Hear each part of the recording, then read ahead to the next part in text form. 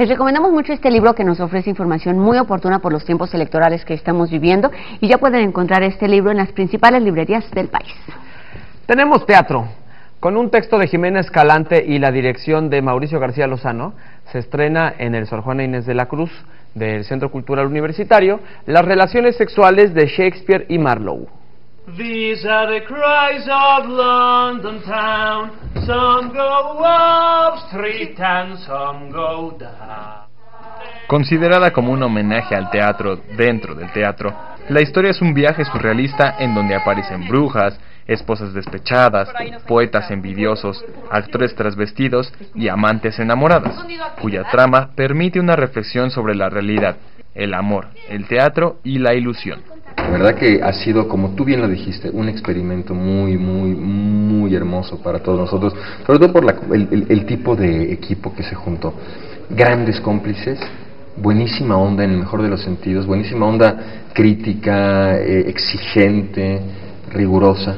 Entonces ha sido muy interesante ir llegando a las soluciones. O sea, al principio teníamos un texto extrañísimo, lleno de sabiduría, pero a pedazos y fue entre todos dándole, se trató de darle forma al asunto y de tomar todas las posibles decisiones, cómo, ¿no? ¿Cómo? ¿En dónde?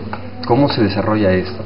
Creo que es, realmente un texto que está celebrando el teatro a todos sus niveles, en sus temas, en sus conflictos eh, esenciales, pero también en este valor que para mí es tan importante a nivel de verdad espiritual, de ese sitio en el cual la gente va a verse en vivo, viva en un instante que deja de ser, que se vuelve muerte al segundo siguiente. No tienes otra alternativa más que estar ahí, ¿no? En esa comunión eh, que es religiosa entre el actor y el espectador en el, en el discurrir del tiempo presente. ¿Cuándo aprendiste a leer el blanco de los cuchillos? ¿Cuándo temblaste por primera vez? Es que separas, tú, tú separas los ingredientes del caldo, porque todos estamos, todos estamos ahogados en un caldo, todas las personas, todos, todos estamos. Hoy,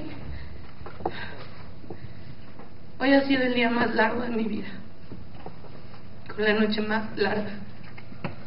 Y